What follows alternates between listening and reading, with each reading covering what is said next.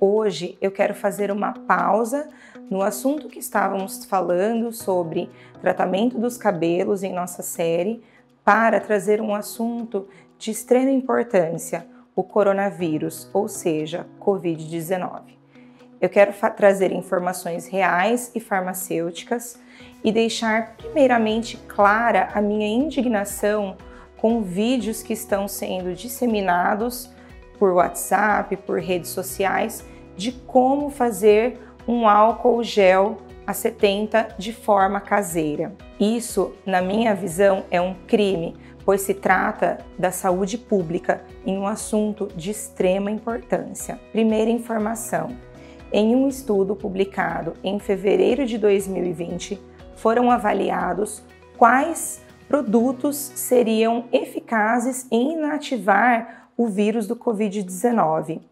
Nesse estudo, os dados obtidos foram que apenas os produtos hipoclorito de sódio, peróxido de hidrogênio e álcool 70 foram efetivos na inativação do vírus. Ou seja, aquele álcool que nós compramos nos supermercados, ele não irá ser efetivo em inativar o vírus, porque ele tem uma alcoolatura de 46.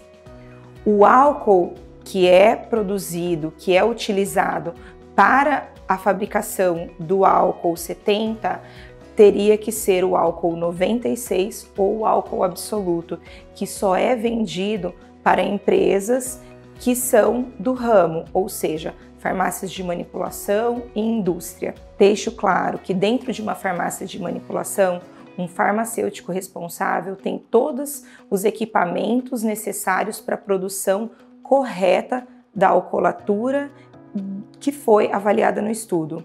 Um exemplo são balanças de precisão, provetas calibradas e também esse equipamento calibrado que se chama alcômetro eles são de fundamental necessidade para a produção correta do álcool gel. Peço encarecidamente que propaguem essa informação, pois em tempos difíceis, informação correta e precisa é de fundamental importância para que a gente tome as atitudes corretas. Além disso, a lavagem das mãos de forma eficiente é tão efetivo quanto o álcool gel. No próximo programa eu trarei mais informações sobre esse assunto que está tão presente no nosso dia a dia, informações reais e farmacêuticas sobre esse assunto.